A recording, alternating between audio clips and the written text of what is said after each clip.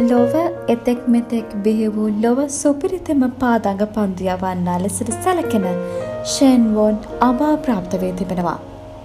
පනස් දෙහැවරදි මේ ඕස්ට්‍රලියානුවා තායිලන්තයේ සංචාරයක නිරතව සිටියදී මිය ගොස් ඇත්තේ හදිසියේ හටගත් හෘදයාපාතයක් හේතුවෙන්. තායිලන්තයේ සුපිරි හෝටල් සංකීර්ණයක රැඳී සිටියදී ඔහු මෙම හදිසි තත්ත්වයට පත් ඇති අතර ඔහු සමග සිටි කාර්ය මණ්ඩලය ෂේන්වෝන්ගේ දිවි බේරා ගැනීම සඳහා දැඩි උත්සාහයක් දැරුවද එය ව්‍යර්ථ වූ බවයි වාර්තා වන්නේ. ඔහුගේ මරණය සම්බන්ධයෙන් මේ වන විට පරීක්ෂණ ක්‍රියාත්මකයි. වසර පහළවක කාලයක් ඕස්ට්‍රේලියා ක්‍රිකට් කණ්ඩායම නියෝජනය කළ ෂේන් ෆෝන් ටෙස් තරඟ එකසිය හතලිස් පහකට සහභාගේ වී දවාගෙන ඇති කඩලු සංඛ්‍යාව හත්සය අටක්. එය ලෝක ක්‍රිකට් ඉතිහාසේ පන්දු යවන්නක විසින් ලබාගත් දෙවන හොඳම කඩුළු ලබා ගැනීමේ වාර්තාවත වනවා. ඔහු දෙවැනි වන්නේ මුත්තයියා මුරතෙරන්ට පමණක් වීමද විශේෂත්වයක්.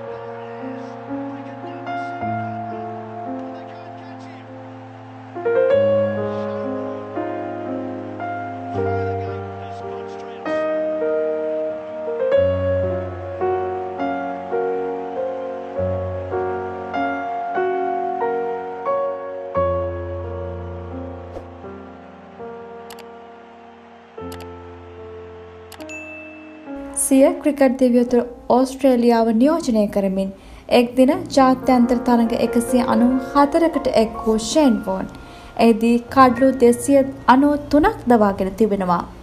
ෂේන්වෝන්ගේ නම ඉදිරියේ ලියවී ඇති පන්දුවාර විස්සක් කඩුළු සංඛ්‍යාව හැත්තෑවක්.